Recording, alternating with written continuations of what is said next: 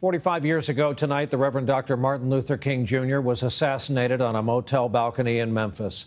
A previously unpublished Life magazine photo shows his open briefcase as he left it in his motel room that day.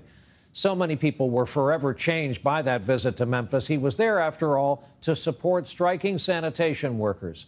Tonight, Ann Curry has the story of two who were there. Memphis, the spring of 1968. Lock arms, four of you on each side of the street. 1,300 sanitation workers on strike against unsafe working conditions. The Reverend Martin Luther King Jr. standing with them. Memphis has gotten by for a long time with numerous injustices where black people are concerned. King's own advisors urged him to skip Memphis, fearing violence, and there was. Alvin Turner, now 79, was there. And he took that billy club, whoop, and popped me right there. Cleo Smith, 70, was too. People's getting beat and fire extinguishers uh, turn on them. Turner says the job paid just 70 cents an hour, but that wasn't the worst of it. I had been treated like a boy for so long. Boy, get over and do that. I was proud to wear that sign, I'm a man. The message was, I'm nobody's boy.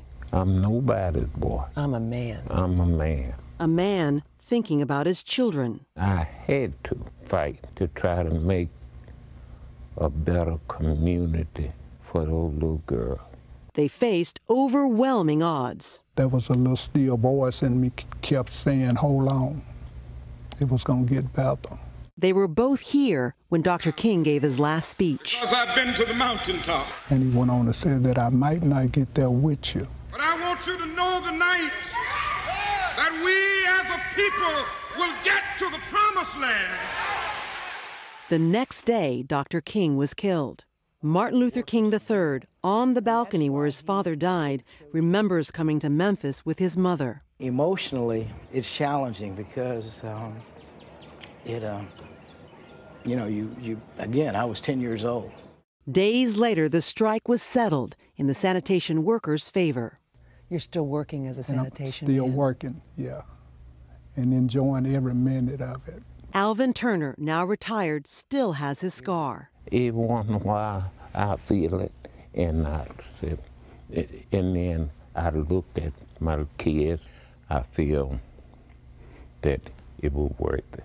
His four children, now grown, all college educated, his dream fulfilled. Ann Curry, NBC News, Memphis.